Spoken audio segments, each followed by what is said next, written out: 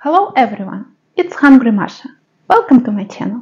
In this video, we are going to test Jamie Oliver's spaghetti carbonara recipe and decide whether it's authentic or not.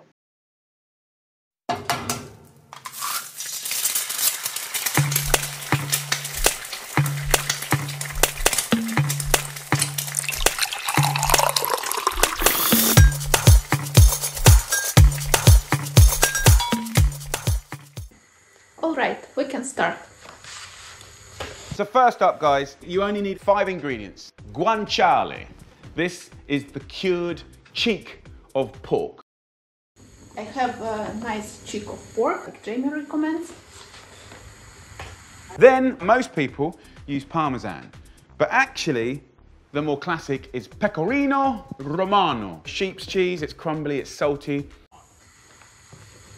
I also bought pecorino romano today at the market. It should be nice.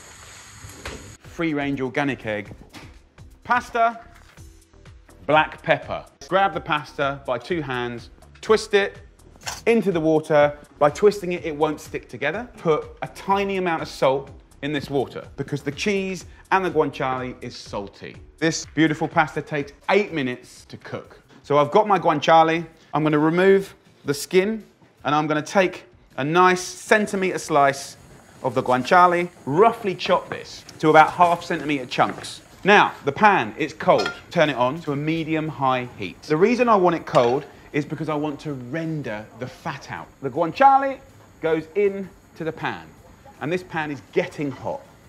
So the pan should be cold. I didn't know this. It's good advice.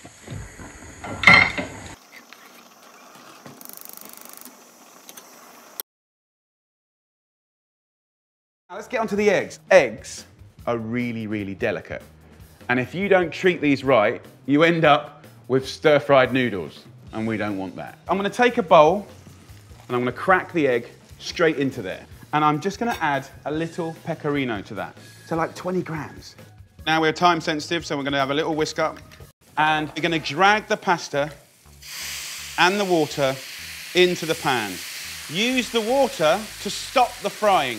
Bit of water, bit of water. That water and the fat, that is what's going to emulsify to become a creamy sauce. We're not frying anymore. Can you hear that? Quiet. No frying at all. Only then can we think about adding our egg. And now it's a very important step. We should add our egg and we want to avoid scrambled eggs on our pasta.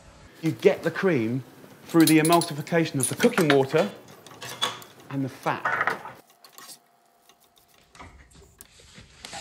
So our pasta is ready.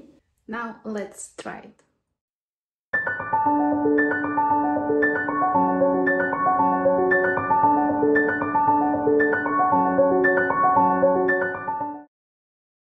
So Sebastian, today we are trying Jamie Oliver's uh, spaghetti carbonara What was the last thing we tried from Jamie Oliver? porridge. The porridge was less good. Okay, let's see. But this is this is looking rather good. See, maybe he redeems himself when it comes to pasta.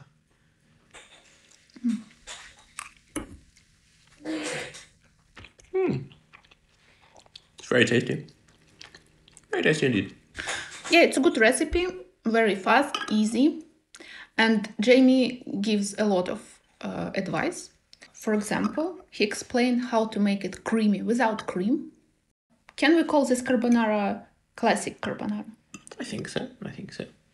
Feels like a classic carbonara to me. No cream, which is So Jamie Oliver does not think? lie in his video. It's classic carbonara.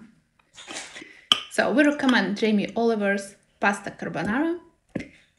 And see you next Sunday for our brunch with a chef. Goodbye.